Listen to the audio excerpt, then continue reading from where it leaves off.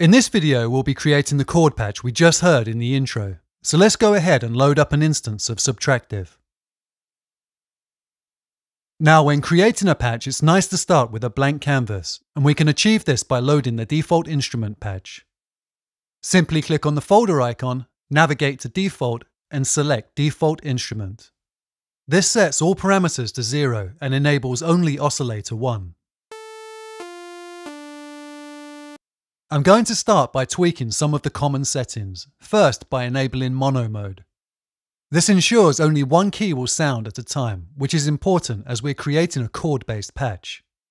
I'm going to raise the unison count to 4 and raise both the detune and spread rotaries.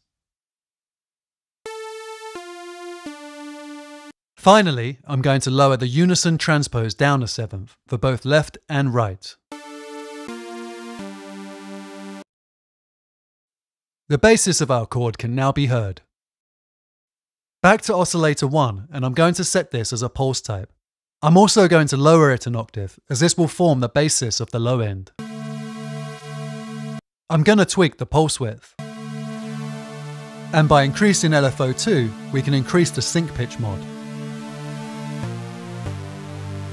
I'm going to switch oscillator 1 off as we move through the subsequent oscillators so we can hear what we're doing. Both oscillators 2 and 3 are set to saw types. I'm going to detune these by lowering oscillator 2 a little and raising oscillator 3 a little.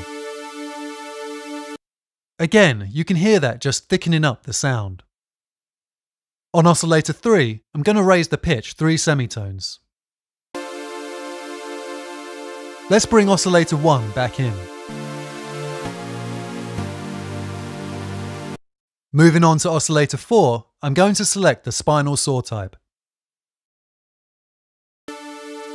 I'm going to increase the cluster and raise the detune level. I'm now going to raise oscillator 4 7 semitones.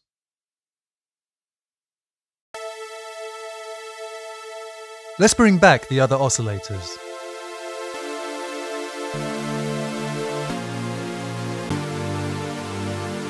Now a key part of this patch's character is its rhythmic quality, and this is achieved by using LFO4 to modulate the amp section.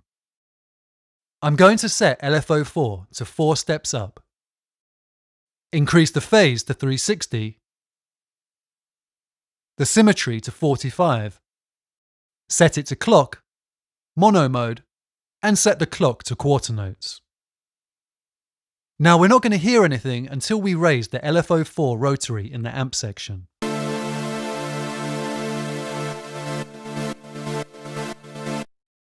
Okay, now we've got that pulsing effect, I'm going to move on to the filter and select the Sallen-Key low pass.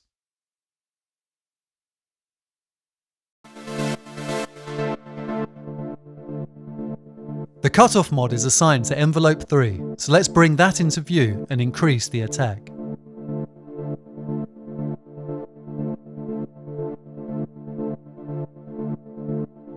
I'm now going to raise the envelope rotary and tweak some of these settings.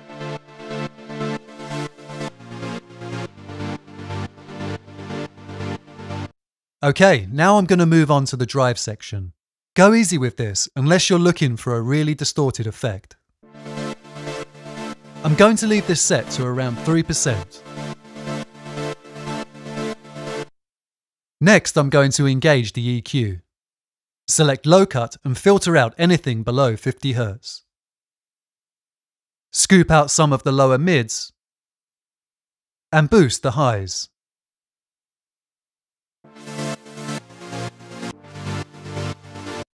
Now before we add and can hear any effects, it's important to raise the return in the amp section.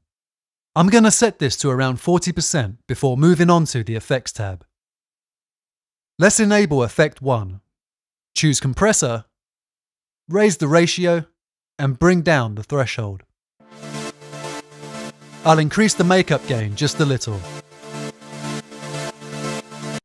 For effect 2, I'm going to select the delay. Bring the feedback down a little and push up the spread. And finally, I'm going to add a little plate reverb.